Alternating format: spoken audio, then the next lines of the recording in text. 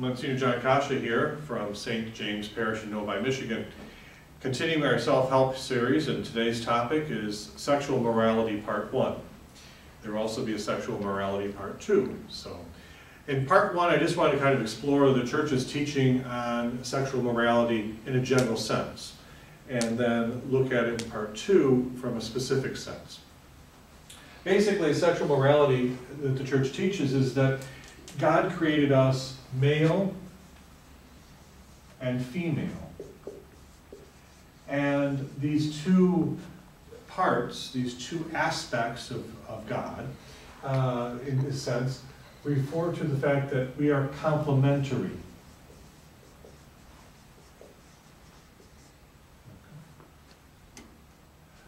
That we complement one another.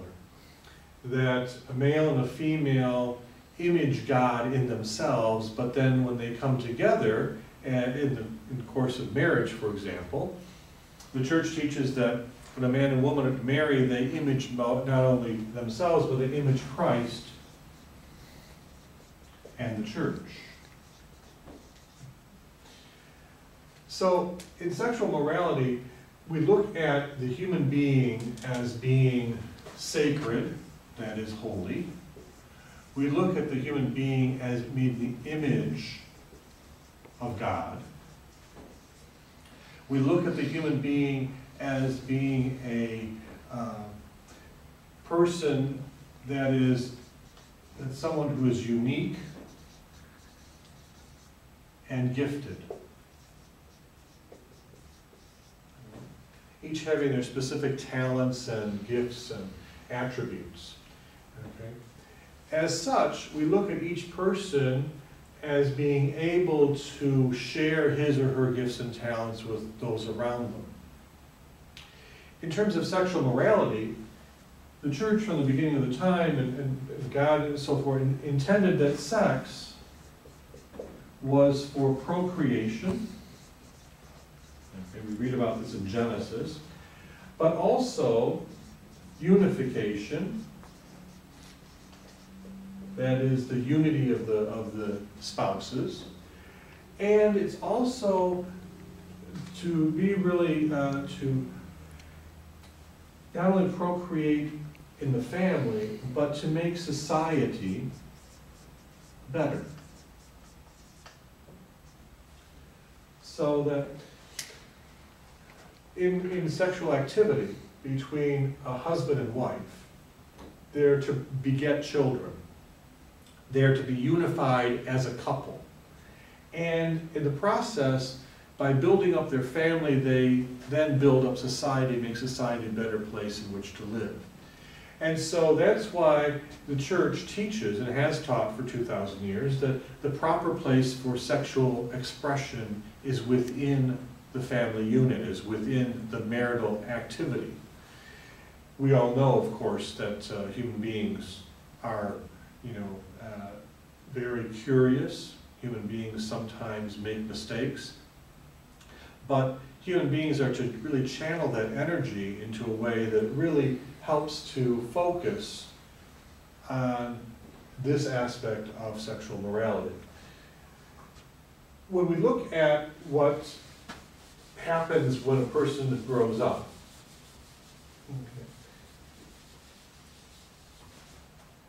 there's something called orientation. There is activity. And there is lifestyle. Okay? Orientation refers to where their basic um, feelings are directed. And we talk about heterosexual or homosexual bisexual, and asexual. Okay. Heterosexual means opposite.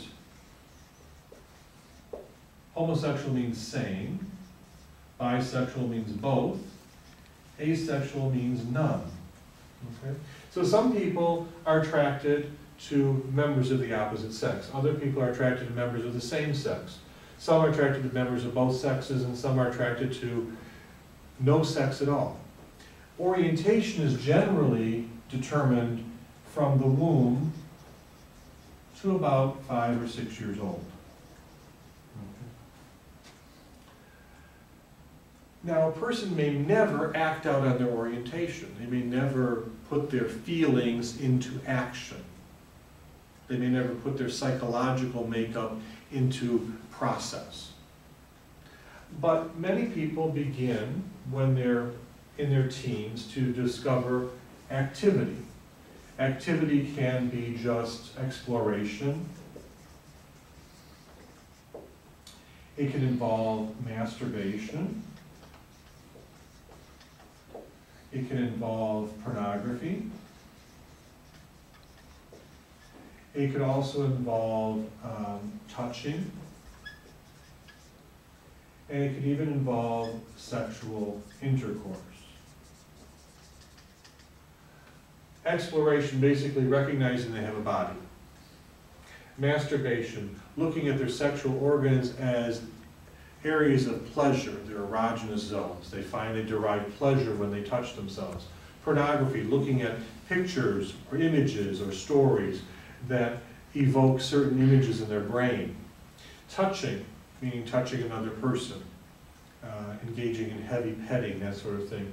And then sexual intercourse, actually engaging in an activity. These activities can occur, you know, beginning very early, all the way through our entire life. When a person chooses a particular uh, outlet, that is, most of their activity centers around a member of the opposite sex, we call those people straight. When most of their activity um, focuses on a member of the same sex, we use the term gay. When a person, you know, uh, focuses on members of both sexes, we call them bisexual. When a person does not have any kind of sexual activity, we call that person a celibate. Okay. Activity and lifestyle are choices. They are choices that people make. That is a full conscious decision. Okay? As such, choices can be sinful.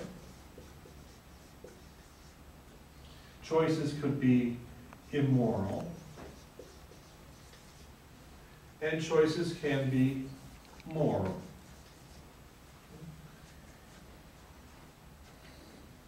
When someone does something when they're very little and they don't understand all these implications, those choices basically may be immoral, okay, or what we call pre-moral because they have no concept of them. But as a person ages and a person learns more about the church's teaching, learns more about certain activities as being sinful, then a choice they make could be sinful. Or a choice that they make could be a moral choice. For example, someone who is, let's just say they're 16 years old, and they, they know that most of their orientation is directed towards members of the opposite sex. They may engage in some of these activities here, and if they don't know that they're considered sinful, well, that person might be excused or might be given, uh, you know, a label of being inculpable.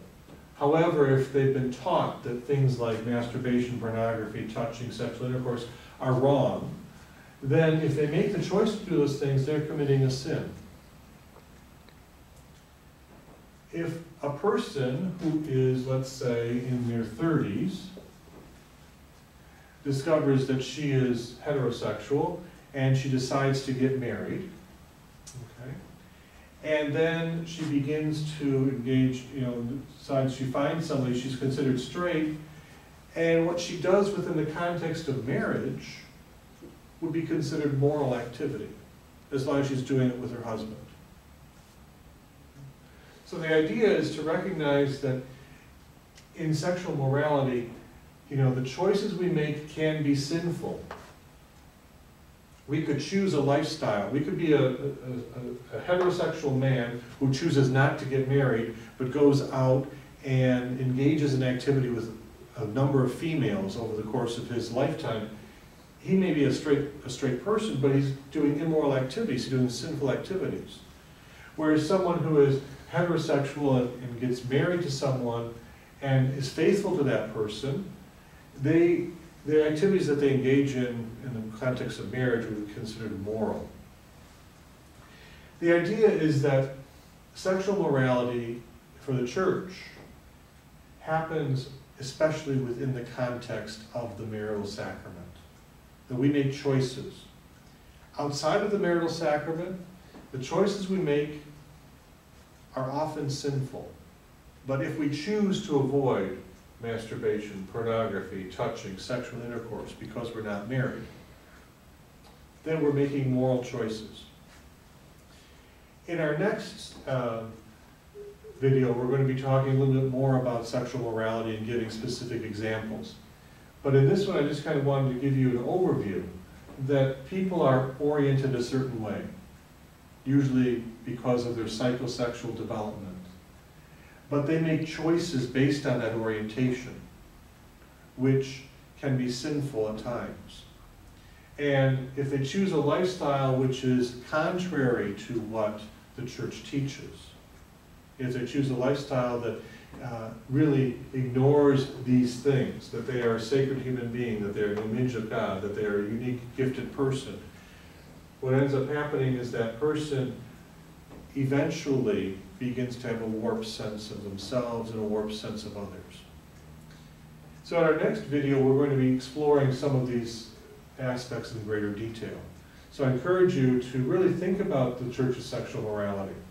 Read the catechism, read what God has said, read what the church has said about how precious each human being is, how each person is in the image and likeness of God, how each person's sexual identity is a gift from God, meant to be shared in very specific context of marriage. And that their sexual identity is, is part and parcel of who they are. And the church really is here to help us to recognize that God calls each one of us to experience the fullness of God's grace. So let us all recognize that our sexuality is a gift from God, designed to be shared in very particular ways, in a way that really is life-giving, loving, and holy.